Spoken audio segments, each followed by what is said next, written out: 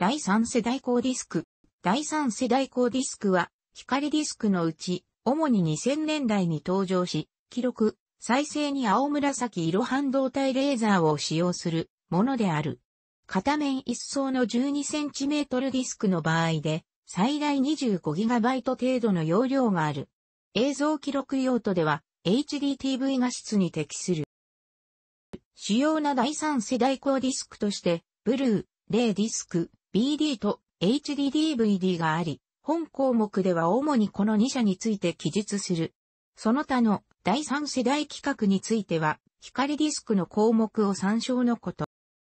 日本のメーカーを中心に、アメリカの映画会社やパソコン会社などが両陣営に分かれて、比較争いを繰り広げ、かつてのベータマックス VHS による家庭用 VTR の企画競争を彷彿とさせていたが、東芝の HD-DVD 事業収束に伴い事実上ブルー、レイディスクの1規格に収束した。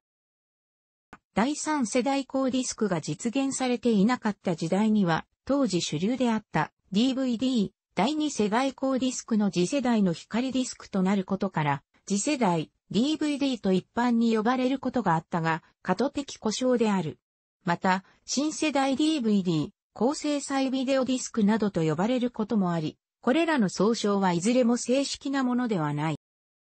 DVD と共通する基本構造、用途を持ちながら、デジタルハイビジョン映像の長時間収録が可能な大容量を実現している。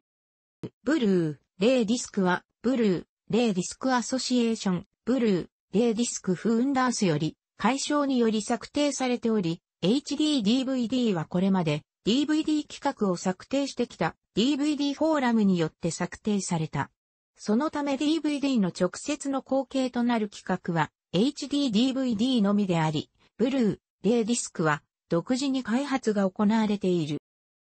HD-DVD ブルー、レイディスクの故障がまだ消費者に浸透していないため日本のマスメディアではそれぞれの企画を支持している代表的な企業の名称を示し、東芝陣営、ソニーパナソニック陣営と併記されることも多い。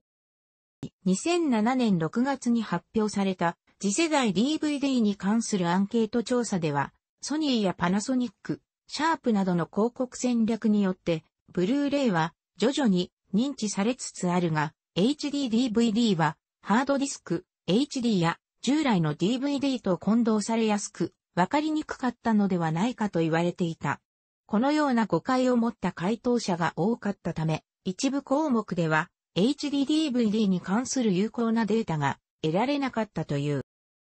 ブルー、レイディスクと HD-DVD は本来互換性がないが、共通する技術が数多く使用されている。共に直径 12cm または 8cm 厚さ 1.2mm の円盤状で、素材は主にプラスチックからなる。読み取りには、波長405ナノメートルの青紫色のレーザーを用いている。なお CD では、波長780ナノメートルの赤外線レーザー、DVD では650ナノメートルの赤色レーザーを用いており、より波長の短いレーザーを用いることで高密度の読み取りを可能にしている。いずれもビデオ規格では多重化フォーマットとして MPEG- トランスポートストリームが採用され、また映像コーデックとして H264、MPEG-4 AVC や VC-1 が採用され、主に1920-1080ドットの映像が収録される。音声コーデックには、従来の DVD と同じドルビーデジタル DTS、リニア PCM、ただし DVD よりも高いビットレートやマルチチャンネルの PCM を収録可能。さらに新世代のコーデックとして、ドルビーデジタルプラス、ドルビートルド、DTS HD が採用されている。著作権保護技術はどちらも AX、アドバンスト、アクセスコンテントシステムを採用する。完全にコピーを禁止しているわけではなく、マネージドコピー、著作権者が許可する範囲内でハードディスなどにコピーできるに対応している。ただし、現在も AX は暫定的なライセンスであり、マネージドコピーは使用できない。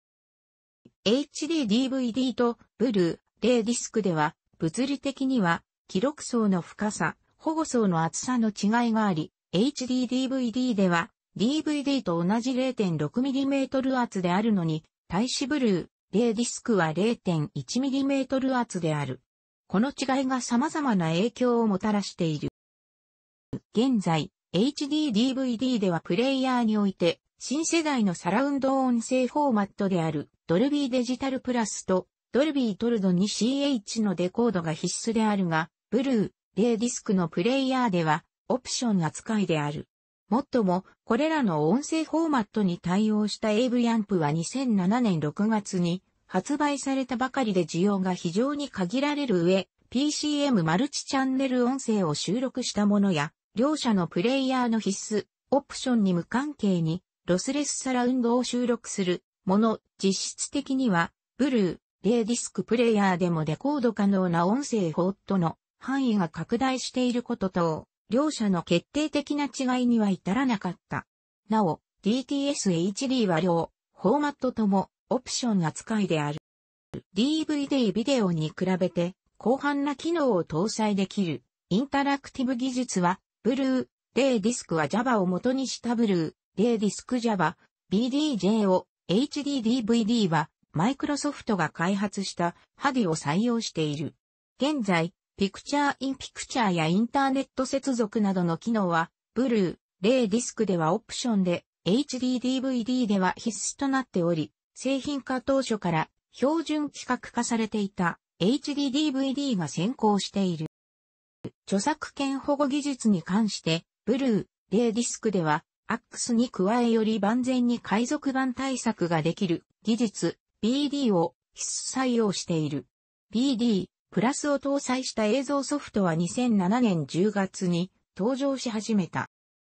下表の太字は、一方を独占的に支持していた企業を表す。太字でないものは両陣営に参入していた企業を表すが、どちらかといえば、片方の陣営に近いと考えられる場合はそちらに含めている。いずれも2008年2月19日終結時点のものであり、企画争い終結後の移動、離脱は変更しない。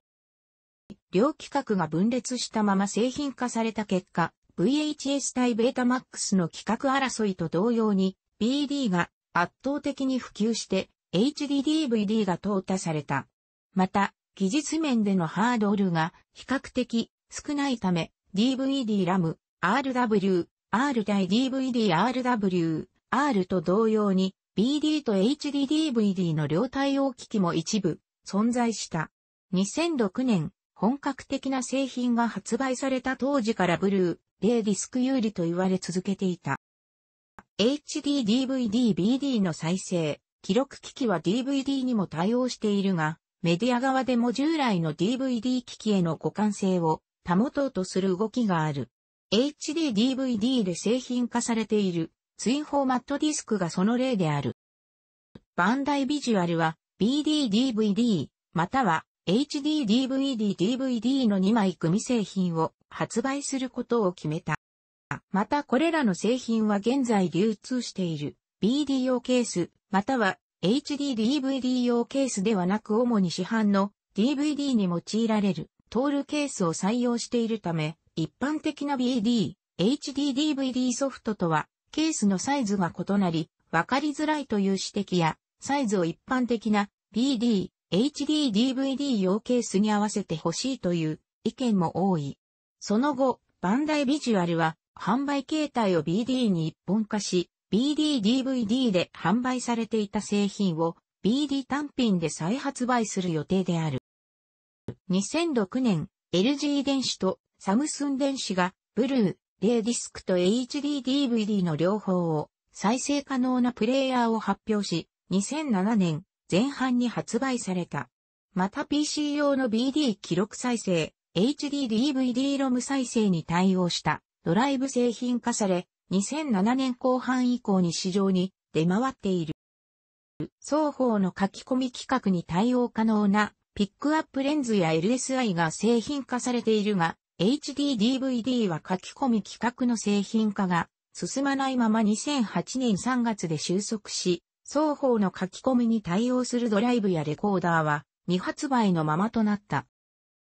2007年1月、両企画を支持するワーナーブラザースが、ブルー、レイディスク HD DVD の双方を両面に記録した再生専用ディスク、トータルハイデフ、略、トータル HD、THD を発表した。しかし、以下のような理由で多くの冷ややかな反応、批判を受けていた。これらの反響を受けてか、ワーナーは2007年6月、同年後半としていたトータルハイデフの発売を2008年に延期した。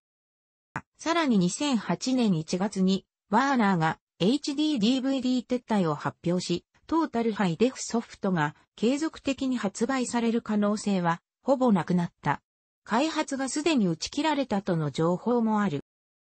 第3世代高ディスクにおいて BD がデファクトスタンダードとなった後、その容量を上回る USB フラッシュメモリの登場と価格低下からフラッシュメモリとの競合を指摘したり、ハードディスクドライブの大容量化と光ファイバー網の広がりからネット配信との競合を指摘する声も根強いが、コンテンツ保存用メディアとして比較した場合、2008年3月時点で USB フラッシュメモリは BD メディアの価格と比較して数倍のコストがかかる。またハードディスクドライブは容量あたりの単価は安いが、その構造上耐久性に問題が多い。ネット配信によるオンデマンド配信もコンテンツを保存する場合は上記の問題が当てはまるほか、ネット配信を快適に楽しむには、高速なネット環境が必要となる。特に、ストリーミング形式の場合、通信速度が低い場合は、コンテンツの再生すらできないこともある。デジタルコンテンツの配信、保存に重要なファクターとなるコピー制御に関しても、ハードディスクやネット配信はともかくとして、フラッシュメモリについては、特に家電向け据え付け録画機の分野において普及したコピー制御技術が日本では存在しないか主流となっておらず、そのためコピー制御のかかっているデジタルコンテンツをフラッシュメモリに格納でやり取りするというスタイルは、携帯機器向けに品質を大幅に落としたダウンコンバートを施してコピーするという場合以外には、特に家電向け据え付け録画機の分野において一般的ではない。ブルーレイの拡張、後継規格として BDXL や u イチェリ BD が開発され、u イチェリ BD では CMP エクスポートという外部媒体コピー技術をサポートすることとなった。ブルー、レースペックでの放送の録画ニーズはほとんど日本国内にほぼ極在しており、よって BDXL 対応録画機器の流通は日本国内にほぼ極在している。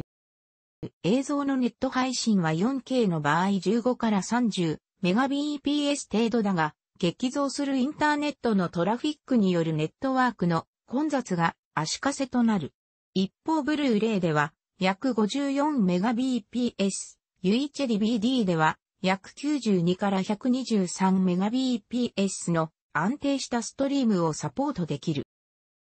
楽しくご覧になりましたら、購読と良いです。クリックしてください。